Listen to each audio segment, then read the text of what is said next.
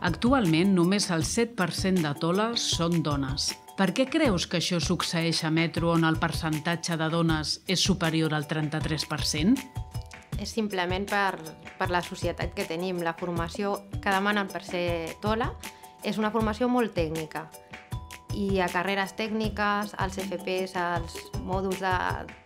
no hi ha gent, no hi ha dones que, que facin aquesta especialitat. És només per això, pels estudis.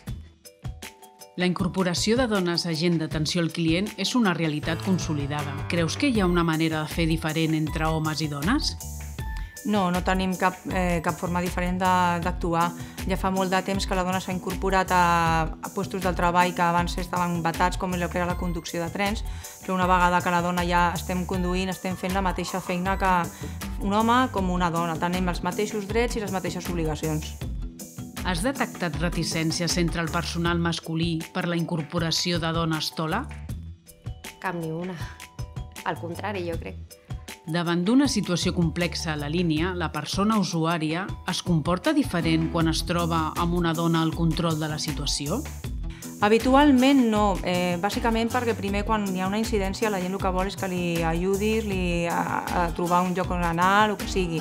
És veritat que vivim en una societat aquí a Barcelona que és de molt diversa culturalment i llavors, clar, hi ha altres cultures que tenen la dona una miqueta més eh, infravalorada i llavors si n'hi ha un home i una dona doncs solen tirar més a un home que, que a tu, però majoritàriament no, no n'hi ha cap, cap incidència. Com veieu la projecció de la figura de la dona fins l'àmbit laboral?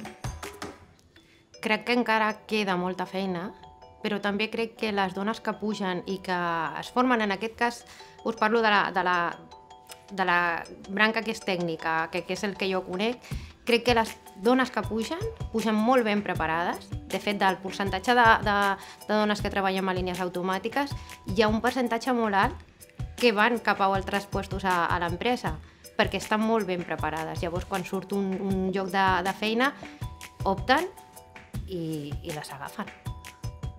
D'aquí a un futur la dona ha estat progressant molt eh, a nivell d'estudis, estem eh, millorant molt, estan obrint una, un abanic molt ample de, de possibilitats i estem incorporant a molts llocs de treballs que abans no fèiem i el més important que ho estem fent bé i estem demostrant doncs, que tenim les mateixes capacitats que, que un home. No, no és diferenciar home o dona, és tenir la capacitat, la motivació i la perseverança de cada persona.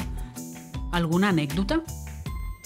N'hi ha moltes anècdotes, però me'n recordo una amb molt de carinyo quan vaig entrar a metro. Li vaig pagar un bitllet a...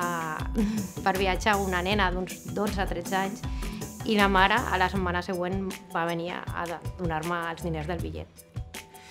Home, anècdota dins d'aquest context sí, sí que tenim, tenim alguna. Bueno, hi ha la típica que venen a atendre't a preguntar alguna cosa i sí que alguna vegada ha vingut algun home no, no, mejor la chica que és més guapa i bueno, això només queda amb anècdota perquè després això ens serveix a nosaltres doncs, per estar durant el dia fent una miqueta de rialla, no?